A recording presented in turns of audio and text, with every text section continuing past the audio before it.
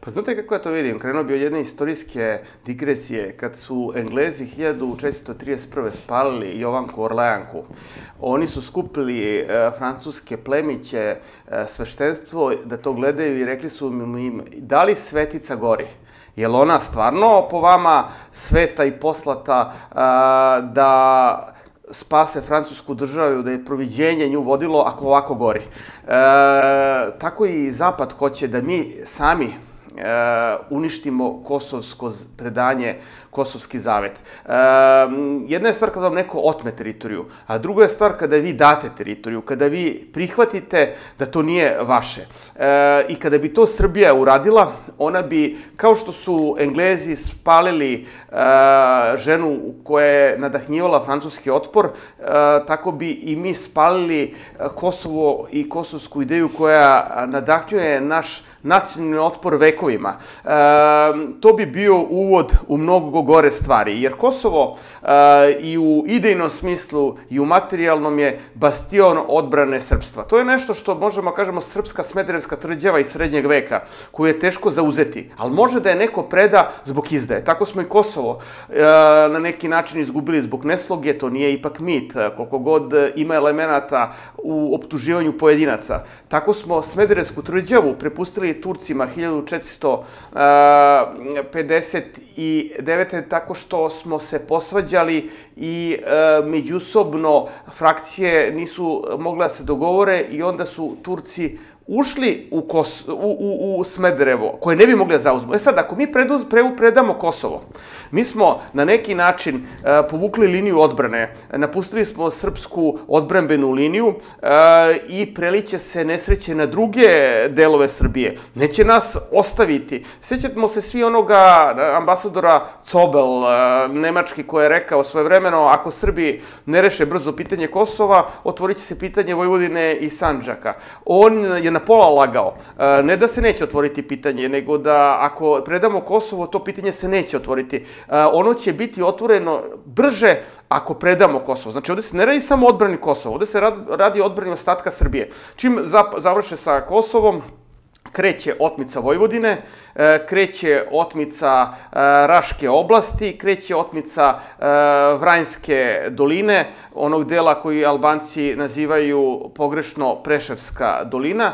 Mi već vidimo da nedavno je to javnost nije propratila jedan poslanik one partije Zukurlićeve koje je stalo u nekoj koaliciji sa Vučićem i ima Đerleka, ministra u vlasti, ta partija se zove stranka Pravde i pomirenja, predložila je da se menja grb Srbije, da više ne bude to dvoglavi orao, već grb koji bi odražavao multijetički karakter. A zašto to rade? Pa zato što žele u sledećem koraku federalizaciju Srbije. Da se promeni član 1 Ustava koji definiše Srbiju kao matičnu državu srpskog naroda, da Srbija postane anacionalna država, da bude federalizovana, već ranije Dinkić, e, Vučićev neformalni partner, predlagao koncept regionalizacije koji podsjeća na federalizaciju i takva Srbija iznutra podeljena, e, rasparčana, bez Kosova i Metohije, učlanjena u NATO, postaje ono što Zapad hoće. E sad, ko e, to ne vidi, taj će prihvatiti e, laž da e, je ovo poslednji potpis. Ovo, ovo, da, da je ovaj potpis poslednji na naše muke, kako oni kažu. A znate šta, on, on je poslednji za Kosovo, a prvi za ostatak Srbije. Znači, ovim definitivno, kad bi Srbija ovo potpisala, ona bi e, omogućila da Kosovo uđe u NATO i u sve ključne institucije, jer Španija, ko, koja je vodeća zemlja, kad bi Amerikanci slomili Španiju, njima više Srbija ne treba. Španija je donela odluku u parlamentu da ne prihvata lažnu kosovsku nezavisnost i njoj treba nešto da Srbija potpiše da bi oni tu promen, promenuli odluku. Onog momenta kad Srbija potpiše bilo kakav pravno obavezujući sporazum sa svojom pokrajinom, Španija će na osnovu toga priznati Kosovo, posle Španije druge članice Europske unije i NATO i Kosovo je u NATO, Kosovo je u mnogim institucijama, a manje više da će biti u Ujedinim nacijama. Što nas dovodi do dalje da kasnije mogu da član 5 po kome mogu i druge, i druge zemlje članice NATO-a da brane Kosovo u slučaju sukoba, što je jako, što je jako bitno da se ne učlani u NATO. E, e sada, hoću ovo da vas pitam, ovaj papir koji je predložen, on je bio, bio je na, bio je. Videli smo svi kako je, kako je Skupština izgledala i po svemu onome što je Aleksandar Vučić rekao, on izgleda ima nameru da, da izda i da potpiše to. On je krenuo od toga, krenuo je to bučno, međutim kasnije se to pretvori u jednu veliku tišinu gde on to potpiše. Plaši se da ne bude slično kao što je bilo vaš, sa Vašingtonskim sporazumom i sa Tiranskom deklaracijom, koja je isto međunarodno pravno važeća.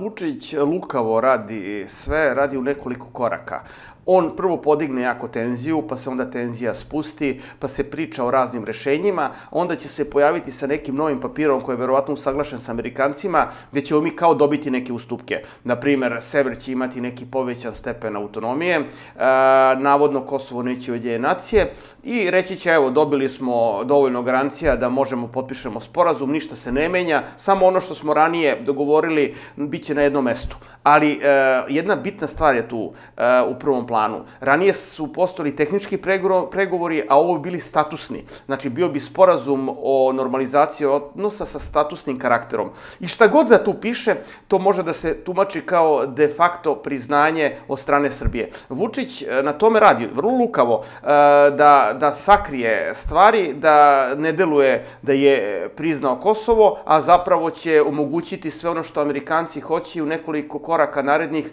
Kosovo je potpuno... Koji su naredni još? Mm, pa naredni koraci su e, da Kosovo krene putem NATO integracija. A mi s tim nemamo ništa, mi smo to sada potpisali. E, kada potpišemo sve ovo, Španija prihvata da je Kosovo država, Španija onda ne blokira ulazak Kosova u NATO, i gotovo. Znači, e, čak i sever Kosova NATO može da brani. Dobro, Sada to Rumunija ne... da blokira neće. Posle Španije će sve te države prihvatiti, e, prihvatit će, e, jedino Kipar može da bude e, otporniji, čak i ako Srbija zauzme takav stav antidržavni. Kipar je rekao svoje vremena, njihova vlast je rekla jasno da, iako promeni Srbija odnos prema Kosovu, Kipar neće zbog Severnog Kipra. Ali to je Evropska unija. Slovačka. Slovačka će isto uraditi što je Španija. Sve te države, one su se sada izjasnile. Videli smo saopštenja i Slovačkog ministarstva spodnjih poslova i Španskog i grčkog i rumunskog, gde kažu da ne menjaju stav dok ne promeni Srbija svoju poziciju. Onog momenta kad Srbija potpiše pravno obavezujući sporazum, jasno je da će te države priznati Kosovo. Ne odmah, Vučić će reći neće se ništa desiti, neće se desiti tri meseca ili šest meseci. Pa će za šest meseci jedna po jedna da priznaje Kosovo i evo Kosova i u NATO-u, evo Kosova u Savetu e, Evrope.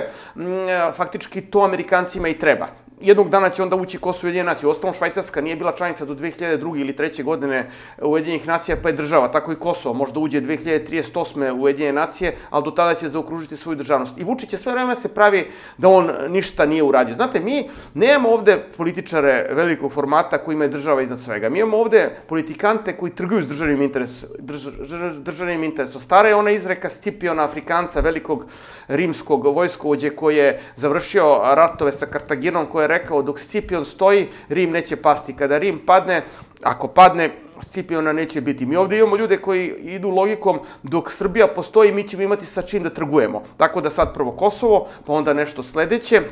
I to tako ide dok Srbija ne bude svedena na ono što Zapad hoće, a to znači e, decentralizovana na način da postoji nekakav beogradski pašaluk i nekakve provincije koje su formalno u sastavu Srbije, ali to više nije pod efektivnom kontrolom Beograda, uvučeni smo u NATO, rešili su srpski problem kako žele. Znate, e, mi imamo mudrog Slobodana Jovanovića koji je još pre 100 godina, pre 100 godina napisao raspravu Srb, e, otačbinu opasnosti, gde vrlo jasno pokazuje tu simbiozu anglosaksonskog i nemačkog pogleda na srpsko pitanje. I sve se svodi na to da srpska država treba ili da nestane, ili da bude pod potpunim patronatom. Kasnije je Slobodan Jovanović napravio grešku okrećući se Englezima, ali u tim mladim danima vrlo jasno je prepoznao opasnost od Engleza i zla koje nam ide, ali ne treba misliti da su to sada Englezi sami.